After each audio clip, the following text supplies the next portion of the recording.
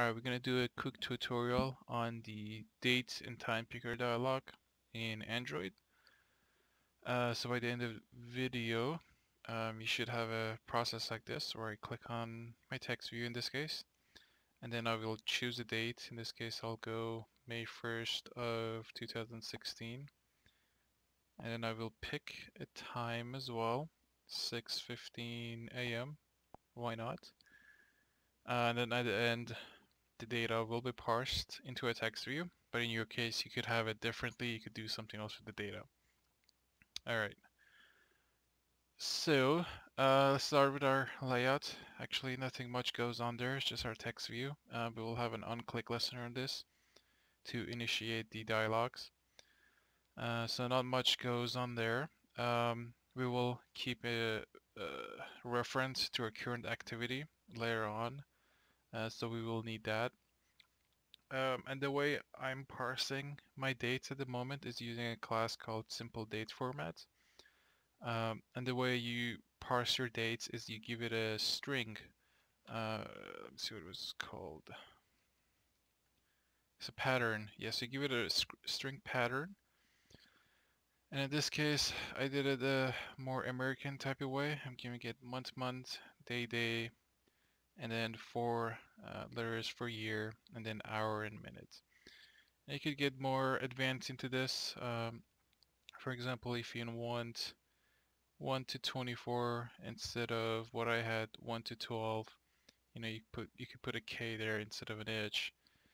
Um, and you can uh, put multiple of them. So in this case, since I have Y, Y, Y, Y, uh, you'll have 2016. But if you just put YY, it would just display 16. So you could get more into that, but I won't go much further. Uh, we initialize our text view and then set a click listener on it uh, called text listener, which is this one right here. And whenever I click on it, which in this case was that, what we do is we create a calendar and get instance uh, uh, the time zone and locale based on the user's uh, location and whatnot, I believe. Uh, yes, it does use locale there. Uh, and in this case, it did do it, for example, correctly since it's May 28 of 2017. Um, and then we will use this calendar to uh, get its year, month, and day of the month uh, so that when we click on the dialog, the current date is already there. So this is one way we use the calendar. Um, and this is where we use that activity as well because it does need context. Uh, it will need a context, so that's that's why we initialized it into this. And I can't do this here because then we're in the on-click listener context. So we'll give it our activity um, and then the date picker also needs another listener. So whenever the user clicks OK, in this case, this is what's going to get called. So we set it to my date data set, which is this one right here, my date data set. So when they click, uh, when the user clicks OK here, uh, this is going to get called. Um, and yeah, we do give the year, month, and day of month and whatnot to uh, display the current time already. And then after the user clicks OK, uh, what happens is that we set the calendars, year, month, and day of month to what the user selected. And that comes from the parameters um, of the uh, method on data date set, which is overridden so we set those variables in our calendar and right after we create the date picker dialog. So in your case, if you only need one of these, for example, you're interested just in the date or just in the time, then you don't need to do this second step. step.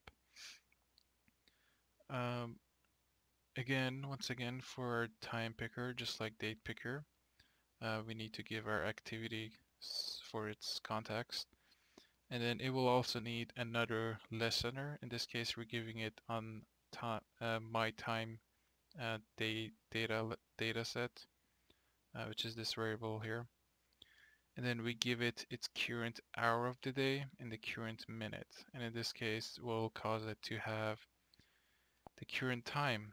So we'll set it to okay, and then it's 4:14 p.m. Oh, as, soon as I set it, 1 to 4:15. There we go. So it's 4:15 p.m. There is a current time correctly showing up. And then the last variable as a boolean is 24 hour. So if you set this to true, the AM and PM disappears and you get to select from 1 to 24. But we don't want that in this case. Um, so when I click OK at the end, um, the same thing we did with our date, we get the hour of the day and the minute the user selected and uh, set it to the calendar instance that we had. So in this in this case, we were actually overriding the values. When we did calendar might get instance, it fills it up with the user's current time. But now after they're setting the date and time, we're basically overriding those values. So by this time, the calendar contains all the dates that the user selected. Um, so you could either do wherever you'd like with the data, but in this case I'm simply uh, getting its time and then formatting it using your simple date formatter uh, that we define at the end. So you get something like this where you get to select the date and time and then gets parsed up. And this source code by the way is available on GitHub. Okay.